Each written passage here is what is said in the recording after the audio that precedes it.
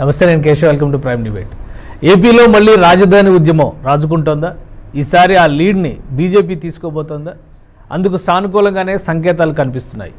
ఏపీలో వైసీపీ ప్రభుత్వం అధికారంలోకి వచ్చాక మూడు రాజధానుల్ని తెరపైకి తీసుకొచ్చింది. రాజధాని కోసం భూములు ఇచ్చిన రైతుల నుంచి దీనిపై తీవ్ర వ్యతిరేకత వ్యక్తమైంది. అయినా పట్టించుకోకుండా ముందుకెళ్ళిన సర్కారుకి హైకోర్టు బ్రేక్ లేసింది.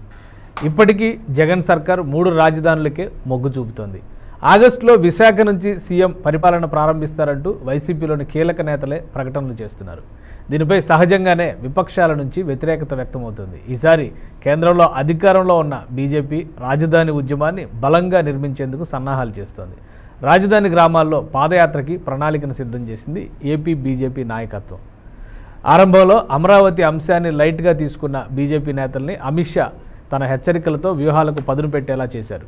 గతంలో రాజధాని రైతులు చేపట్టిన పాదయాత్రకు అలానే తిరుపతి సభకు కూడా అండగా నిలిచింది ఏపీ బీజేపీ. ఇప్పుడు ఏకంగా అమరావతి గ్రామాల్లో పాదయాత్ర చేయబోతోంది. మనం మన అమరావతి పేరుతో బీజేపీ ఈ పాదయాత్రని శుక్రవారం నుంచి చేపట్టబోతోంది. ఇరవై తొమ్మిదవ తేదీ నుంచి నాలుగో తేదీ వరకు రాజధాని గ్రామాల్లో ఈ యాత్ర నిర్వహిస్తారు. రాజధాని గ్రామాల్లో డెబ్బై ఐదు కిలోమీటర్ల మేర ఈ పాదయాత్ర కొనసాగబోతోంది. ఉండవల్లిలో యాత్ర ప్రారంభమై తుళ్ళూరులో జరిగే బహిరంగ సభతో ముగుస్తుంది. అమరావతి ఉద్యమంలో ఈ పాదయాత్ర టర్నింగ్ పాయింట్ కాబోతోందని బీజేపీ నేతలు చెబుతున్నారు.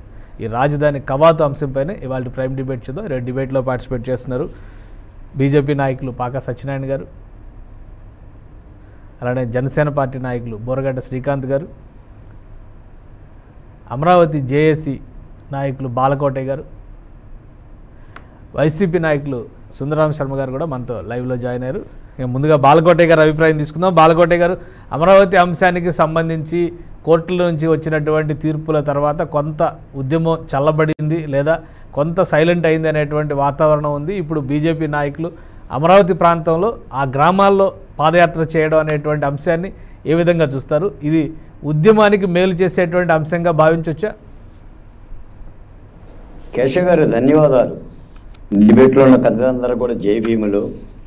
కేశవ్ గారు. ఆంధ్రప్రదేశ్ రాజధాని అమరావతి గురించి తెలియని విషయం కాదు. ఆంధ్ర రాష్ట్ర ప్రజలకు కానీ దేశ ప్రజలకు కానీ ఎందుకంటే వెయ్యి రోజులు వెయ్యి రోజులు చేరువైన ఉద్యమ నేపథ్యం. నేను మాట చెప్తా కేశవ్ గారు మనకి భారతం తెలుసు రామాయణం తెలుసు. రామాయణం అంటే రాముడు సీత జనకుడి కుమార్తె సీత దశరథుడి కొడుకు రాముడు దశరథుడికి నలుగురు భార్యలు చివరి భార్య కైక. ఆమె కోరిక మేరకు రాముడు ముగ్గురే. ముగ్గురే భార్యలు. దశరథుడికి ముగ్గురే భార్యలు. ఆ, ముగ్గురు భార్య రామాయణం తెలుసు. అలాగనే భారతం తెలుసు. కౌరవులు పాండవులు వంద మంది ఐదు మంది అని ఇలాగనే రాజధాని అమరావతి కథ కూడా ఆంధ్రులకు తెలుసు. ఇప్పుడు మన డిబేట్లో కూర్చున్న అన్ని రాజకీయ పార్టీలకు తెలుసు. ఆంధ్ర రాష్ట్ర విభజన. విభజన చట్టంలో ప్రత్యేక రాజధాని కట్టుకోవాల్సిన ఆంధ్రప్రదేశ్ హక్కు. హక్కుగా సంప్రదించిన హక్కు ఆ నేపథ్యంలో శివరామయ్య కృష్ణయ్య కమిటీ దాని సర్వే రిపోర్టు ఆనాటి ప్రభుత్వం ఒక తీర్మానం అది రాజధానిగా ఎంపిక అందుకు రాజధానిలో భూముల సేకరణ ఉచితంగా ఉచితంగా కేవలం కౌలు ఆధారంగా పెద్ద ఎత్తున రైతుల నుంచి సేకరణ ఆనాటి ప్రతిపక్ష పార్టీ ఆమోదం సాక్షాత్తు ప్రధాని నరేంద్ర మోడీ గారి చేతుల మీదుగా శంకుస్థాపన శిలాఫలకం. మాకు కాసిన్ని మట్టి నీళ్ళు ఈ విధమైన ఒక దేశ స్ఫూర్తిని ప్రజ్వలింపజేసే విధంగా ఇవ్వటం. ఇవన్నీ కూడా తెలుగు రాష్ట్ర ప్రజలు మేము భరాయించాం. ఎందుకు అవుతుంది వివాదాస్పదం? ఎందుకు అవుతుంది కేశవ్ గారు? అందరి కళ్ళ ముందు జరిగిన రాజధానికి అందరూ శాఖాహారులే. మధ్యలో ఉన్న గంప రొయ్యల గంప మాయమైంది. ఎందుకు మాయమవుతుంది? ఈ రోజున భారతీయ జనతా పార్టీ వాళ్ళు తలపెట్టిన పాదయాత్రను స్వాగతిస్తూనే అది భారతీయ జనతా పార్టీ కాదు. కేంద్ర ప్రభుత్వంలో ఉన్న అధికార పార్టీ కేంద్ర ప్రభుత్వంలో అధికార పార్టీ అధికార పార్టీ పాదయాత్రలు చేసి మాలాంటి బహుజన జేఏసీలు పాదయాత్రలు చేసి ప్రతిపక్ష పార్టీలు పాదయాత్రలు చేసి సమస్యకు పరిష్కారం ఎప్పుడు? ఇది రాజకీయ కోణం నుంచే తప్ప నేను మాట చెప్తా. ఇప్పుడు గుడిలో గంటని ఎవరైనా కొట్టవచ్చు కేశవ్ గారు. ఇప్పుడు అమరావతి రాజధాని అమరావతి అలా అయిపోయింది. ప్రతి రాజకీయ పార్టీ వస్తుంది గంట కొడుతుంది.